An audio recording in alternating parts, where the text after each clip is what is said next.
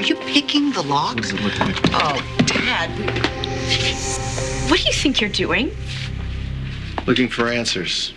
This is private property, and you're supposed to be in jail. I'm calling the police. Yeah, you do that, you're going to be the one who ends up in jail. For what? For your part in Stuart Chandler's murder. Greenlee. Welcome back.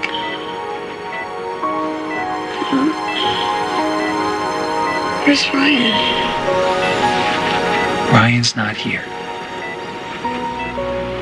We're getting married today.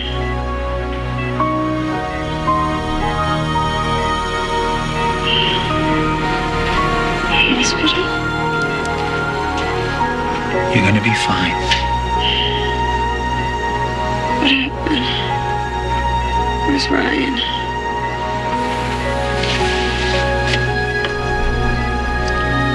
Why don't we talk later? Okay? I want to talk about it now. Ryan, where, where, where is he?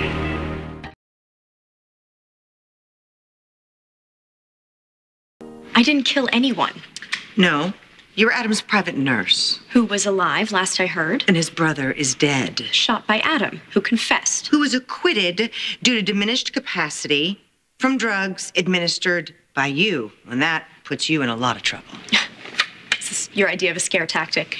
Illegal administration of drugs, reckless endangerment, and aggravated assault. Well, I think any decent lawyer could bump that up to involuntary manslaughter. Are you scared yet? This is a joke. Really? Why aren't you laughing? Instead of trying to run. I'm not.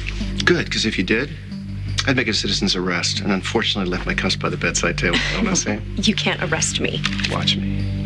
Liza, give me the rope. This is harassment.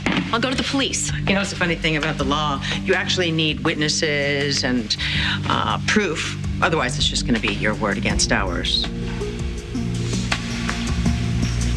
Okay. What do you want? It's real simple. I want to know what David's up to.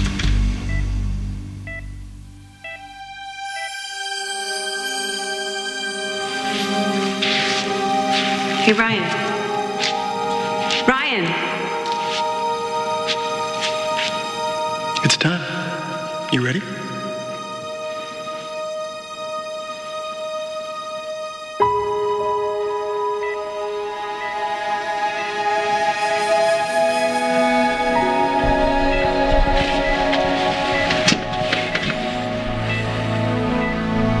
know everything there is to know.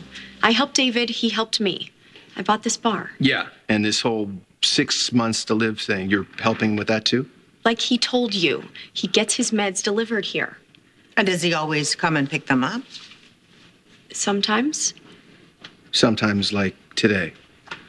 And he gets a phone call, supposedly on the last Christmas he's going to spend on the planet, and he decides to spend it here with you in a dive bar rather than with his son. Oh, here we go again. Son of a bitch. Returning to the scene of the crime, huh? I would think that your attorney would advise against that, especially given your aspirations. I just want to get back to Pine Valley. Oh, don't be coy. You may be looking at the next district attorney of Pine Valley.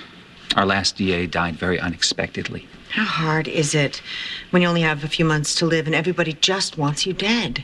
You trying to drive another man to his death? Willis was in a car accident. Oh, of course he was. A life cut tragically short. Hmm.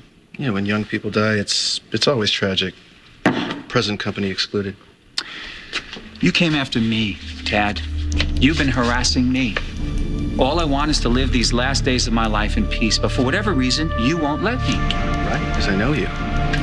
You're not a decent person. You're not the kind of person that's going to drag himself off to the North 40 and just die quietly, peacefully. No, you're going to do what you've always done. You're going to spend your last putrid breath trying to make people miserable, whether it's six months from now or 60 years. All right, you know something? This is really getting tiresome. You want to search the place? Go ahead. Tear it apart. Hey, come on, counselor. Let's see what the mad doctor has oh. sent. Do that.